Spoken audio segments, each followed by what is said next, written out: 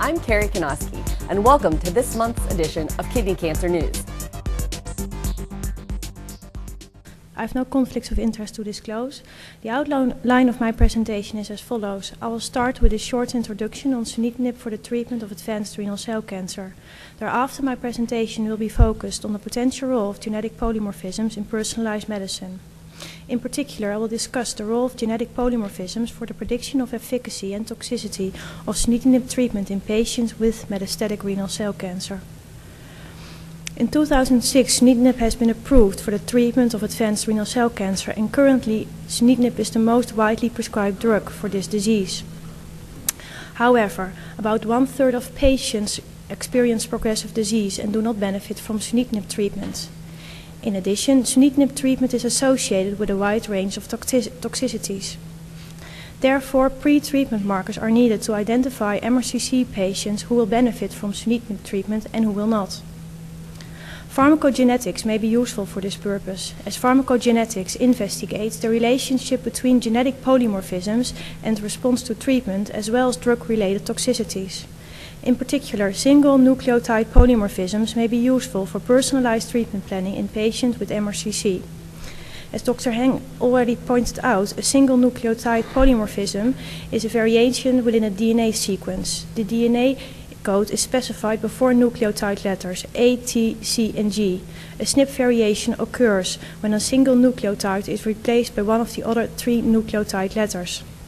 In this example, the DNA molecule below differs from the DNA molecule above at the single base pair location. This represents a CT polymorphism. Although single nucleotide polymorphisms do not result in physical changes nor affect uh, the production of proteins, it's believed that other single nucleotide polymorphisms may predispose to disease or may even influence response to drugs. In case of sunitinib, the efficacy of, and toxicity of sunitinib is determined by pharmacokinetic factors. After oral administration, sunitinib is absorbed in the gastrointestinal tract, for which the efflux transporters ABCB1 and ABCG2 may be important. In addition, CYP3A4 is an important enzyme for the biotransformation of sunitinib. CYP3A4 is expressed in the liver, and its expression is regulated by the nuclear receptors NR1I2 and NR1I3. In addition, other CYP enzymes, CYP3A5, CYP1A1, and CYP1A2, may be involved in the metabolism of sunitinib. Besides pharmacokinetic factors, pharmacodynamic factors regulate the efficacy and toxic toxicity of sunitinib. Important factors of sunitinib include the vascular endothelial growth factor receptors, the platelet-derived growth factor receptors, and FLT3.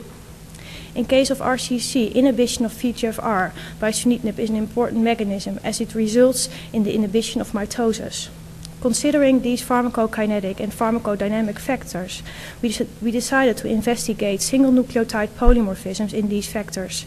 The selected single nucleotide polymorphisms are depicted in green. Of note, we could not investigate genetic polymorphisms in CYP3A4, as no functional polymorphisms have been identified yet. The objectives of our studies were to identify genetic polymorphisms that are associated with a prolonged progression-free and or overall survival in sunitinib-treated MRCC patients. In addition, we investigated the correlation between genetic polymorphisms and sunitinib-induced to toxicities, as well as hypertension that develops during sunitinib treatments. For these studies, patients treated with sunitinib were recruited from six Dutch medical centers. For the efficacy analysis, 136 sunitinib-treated patients with clear cell histology were included. For the toxicity analysis, 219 sunitinib-treated patients with various malignancies were selected. For the hypertension analysis, the cohort was extended to 291 sunitinib-treated patients with various malignancies. Of all patients, germline DNA was isolated from blood samples, and a total of three, uh, 37 um, polymorphisms in 50, 50 candidate genes were analyzed. For the efficacy analysis, progression-free and overall survival were determined, and the toxicity was graded according to the CTC guidelines version 3. Starting with the efficacy analysis, we performed multivariate analysis for progression-free survival in 136 patients with clear cell histology. Among the clinical characteristics, the MSKCC risk factors, the number of metastatic sites and age were associated with progression-free survival. Among the genetic polymorphisms, polymorphisms in CYP3A5, the NR1I3 haplotype, and the ABCB1 haplotype were associated with an improved progression-free survival. We also performed multivariate analysis for overall survival. And among the clinical characteristics, the MSKCC risk factors were the only clinical characteristics that were associated with overall survival. In addition, the presence of an A allele in the VEGFR2 gene was associated with an improved overall survival in these patients. Going back to the results for progression-free survival, we were able to define a favorable genetic profile. Patients were carriers of the favorable genetic profile if they had at least an A allele in the CYP3A5 gene, or a missing CAT copy in the NR1I3 haplotype, or a TCG copy in the ABCB1 haplotype. 95 out of 136 patients were carriers of the favorable genetic profile. When carriers were compared to non-carriers, carriers appeared to have an improved progression-free and overall survival. This was 13 versus 7 months for progression-free survival and 19 versus 12 months for overall survival. In multivariate analysis, the favorable genetic profile was still associated with an improved progression-free survival and showed a trend for overall survival. To the left, the survival curves for progression-free survival are presented, and to the right, the curves for overall survival. The genetic polymorphisms that were investigated for relation with efficacy were also investigated for relation with sunitinib-induced toxicity. Previously, Van Erp et al. have shown that genetic polymorphisms are associated with sunitinib-induced toxicity in 219 patients with various malignancies. In that study, genetic polymorphisms in CYP1A1, FLT3, and the NR1I3 haplotype were associated with the development of leukopenia. In addition, genetic polymorphisms in CYP1A1 were associated with the development of mucosal inflammation, and the presence of a TTT copy in the ABCB1 haplotype was associated with an increased risk of hand-foot syndrome. Finally, genetic polymorphisms in VEGFR2 and the ABCG2 haplotype were associated with the development of any toxicity higher than grade 2. Among sunitinib-induced toxicities, hypertension is a common reported side effect. However, the mechanism by which sunitinib induces hypertension has not been clarified yet. Previous studies have shown that VEGFR2 is an important factor in the regulation of the vascular tone. Activation of VEGFR2 by, its, by PI3 kinase and its downstream Akt stimulates endothelium-derived nitric oxide synthase, leading to the production of the potent vasodilator nitric oxide. Nitric oxide itself is able to inhibit the production and activity of endothelin-1, which is a vasoconstrictor. But when the bioavailability of nitric oxide decreases, the activity and production of endothelin-1 increases, leading to vasoconstriction. It can be hypothesized that inhibition of VEGFR2 by sunitinib results in an imbalance between vasodilation and vasoconstriction, leading to the development of hypertension. Considering these factors in the regulation of the vascular tone, we investigated polymorphisms in VEGF, VEGFR2, eNOS, and endothelin-1. In that study, 291 patients treated with sunitinib and with various malignancies were included, and we found that single nucleotide polymorphisms in VEGF and NOS3 were associated with the development of grade 3 hypertension during the first treatment cycle. In conclusion, our studies show that pharmacokinetic but not pharmacodynamic polymorphisms are independent predictor factors of progression-free survival in sunitinib-treated MRCC patients. In addition, polymorphisms in genes encoding for metabolizing enzymes, efflux transporters, and drug targets are associated with sunitinib-related toxicities and genetic polymorphisms in VEGF and NOS3 independently predict development of grade 3 hypertension during the first treatment cycle of sunitinib. These results show that genetic polymorphisms are promising for the prediction of the efficacy and toxicity of sunitinib in patients with MRCC. And these studies indicate that prospective studies are needed to validate the clinical value of genetic polymorphisms for individualized treatment planning in patients with metastatic renal cell cancer. And with this, I would like to end, and I would like to thank all patients and investigators who participated in stu these studies.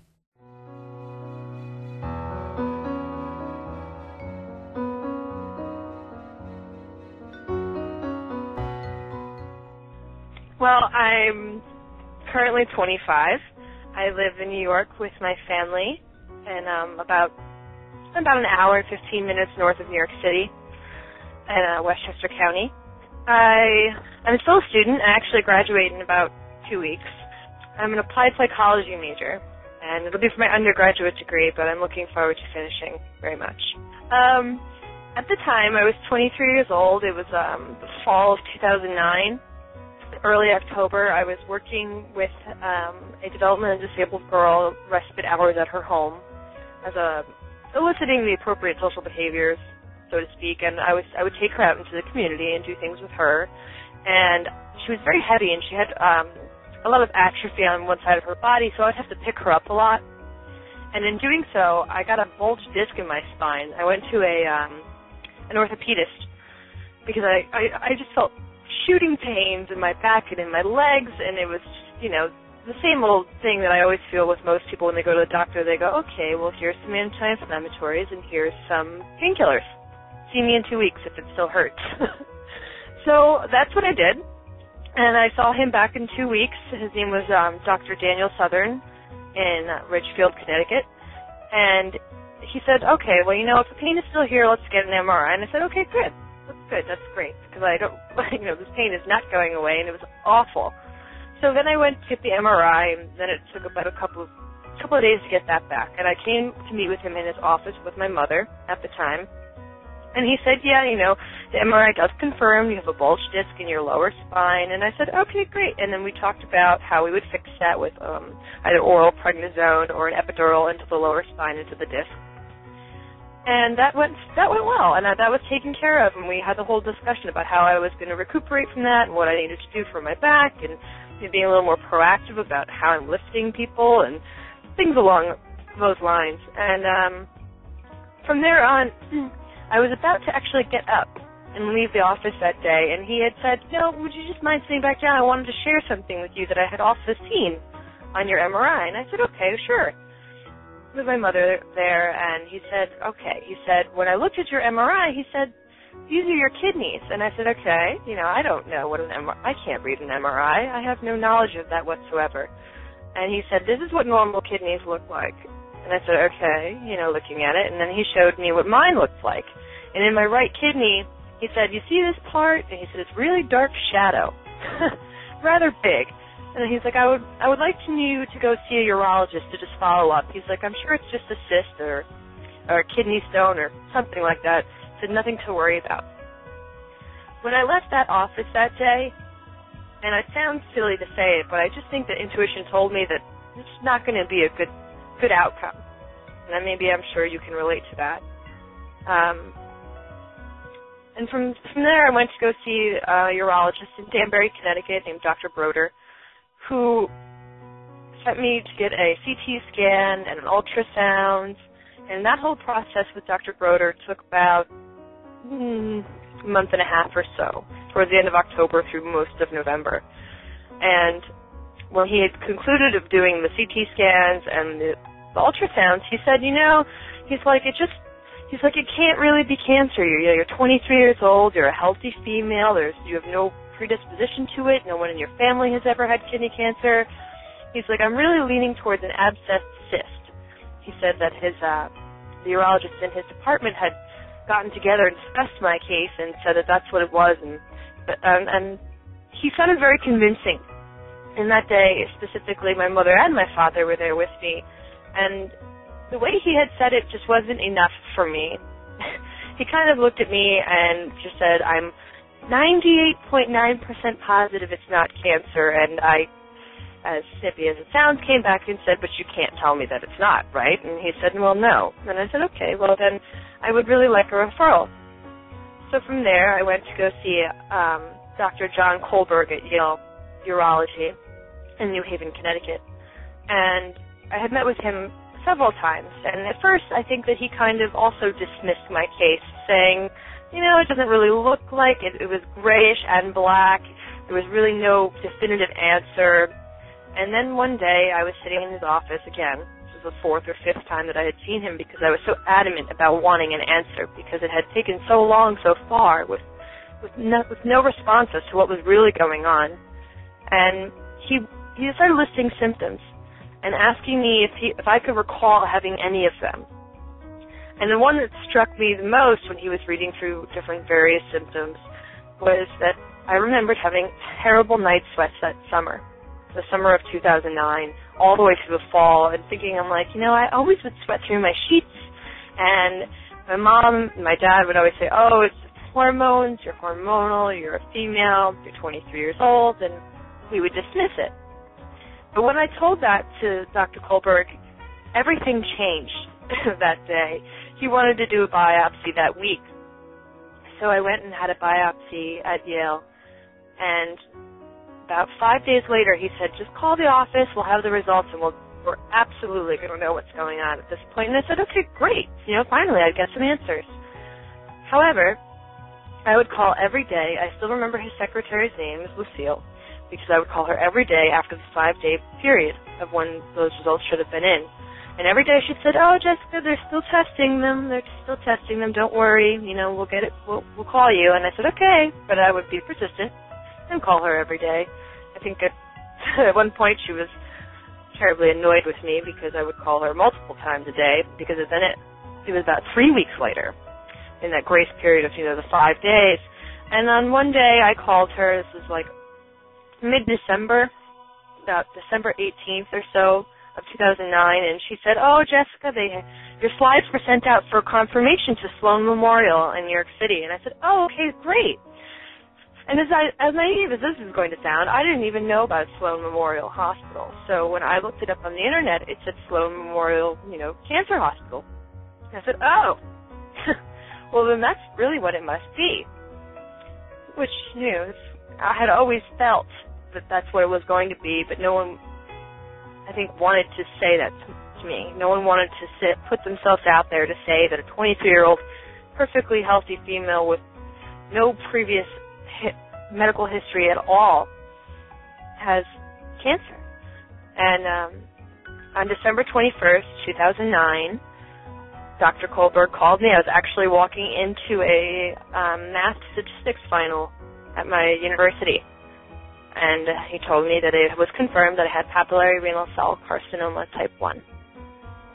You know, people ask me all the time, like, how that, the story of it happening, how they even found it, because the odds of it, and Dr. Colberg had told me the odds of them ever having found it wouldn't have been until it was way later hadn't I gotten hurt.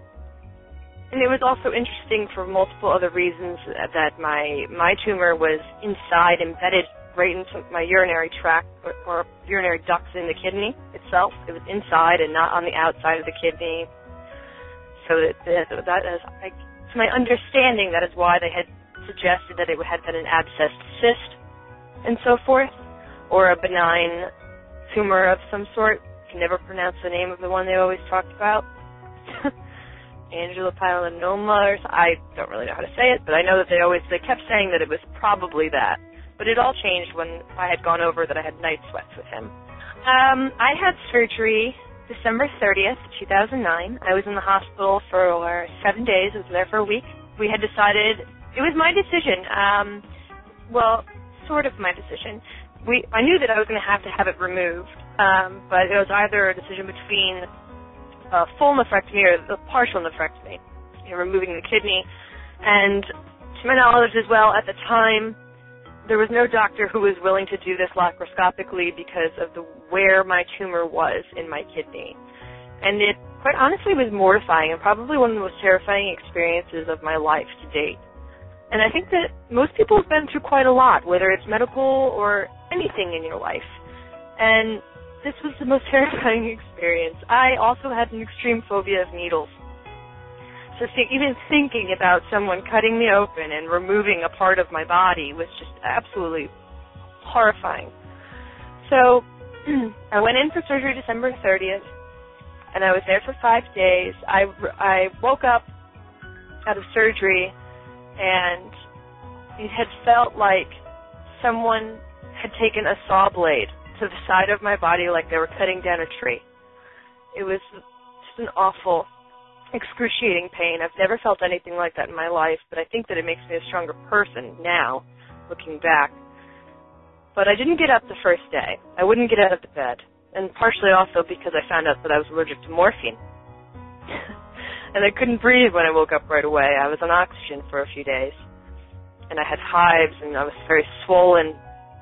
But you know, and then I was put on um, oh, I'm going to forget the name of the pain medication, but I was on that for the entirety of my stay there, and I didn't get out of bed till about day three. I had sat up on the second day, but it was just I I, I can't it's like I just can't even describe the pain.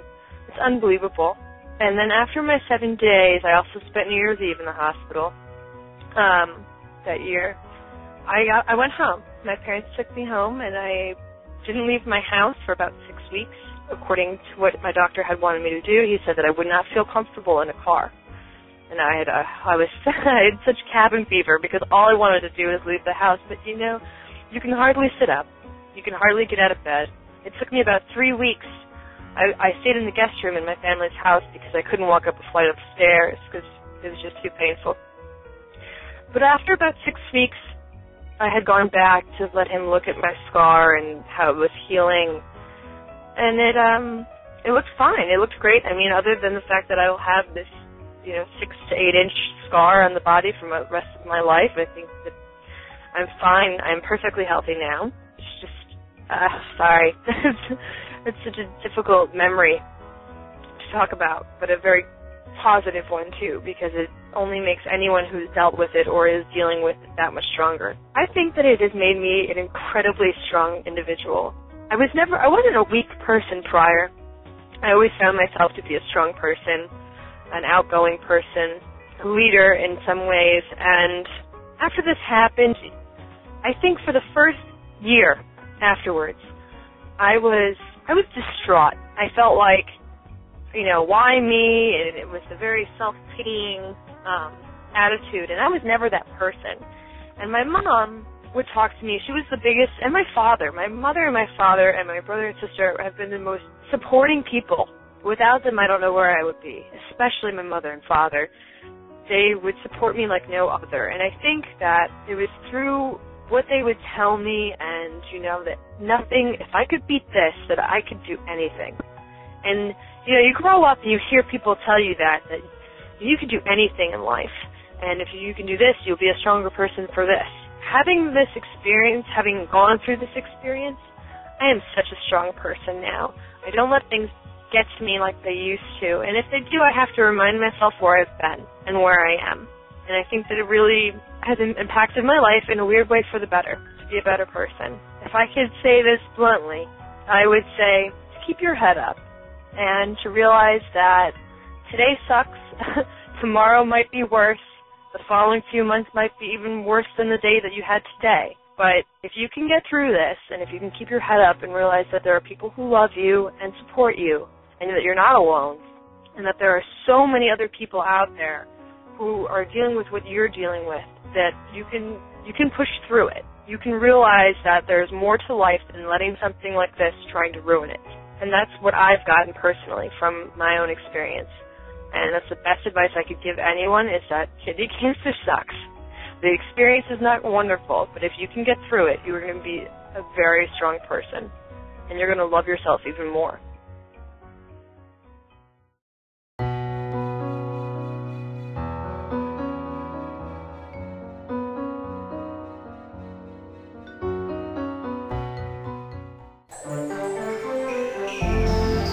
Join us again next month for another edition of Kidney Cancer News. I'm Carrie Kanoski, wishing you good health.